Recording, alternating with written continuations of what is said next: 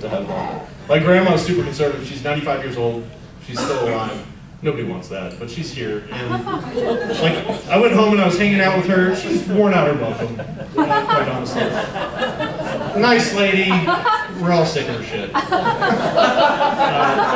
I went home for Christmas, Thanksgiving. We're, we had a nice meal, and we're all sitting down in the living room trying to enjoy each other's company. And my grandma just out of nowhere is like, you know, I just don't like the way everybody's on their phones all the time. Bah, bah, bah. Nobody interacts and looks each other in the eye and has a conversation anymore.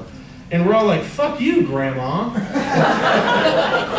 and then I swear to God, within the next five minutes, she passed out and was snoring in her chair.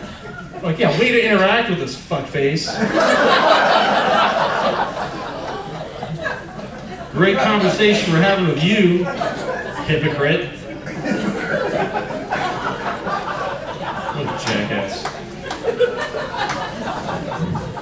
She hasn't had a job my whole life. My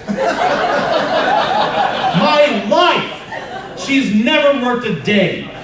My grandpa died a few months before I was born. She's been collecting Social Security and renting out the farm ever since. She hasn't lifted a finger to do shit. Do you know how many times she's yelled at me to get a job? Ow! Runs all over me. It's like, you go, you go get a job. Sucking the government's tits? Is that where you get your money? Is the government? Go fuck yourself, Granny. Get over yourself. Greatest generation, my ass. Collecting money from the government. Tell me to get a job. Fucking lazy piece of shit. Yeah, why don't you croquet something? Go make us all some fucking Afghans nobody wants. Get that shit out of here.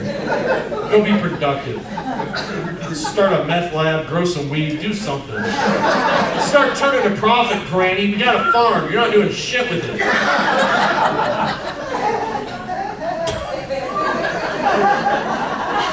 She's a wonderful lady. She's the sweetest old woman I've ever met. And I just shit all over her.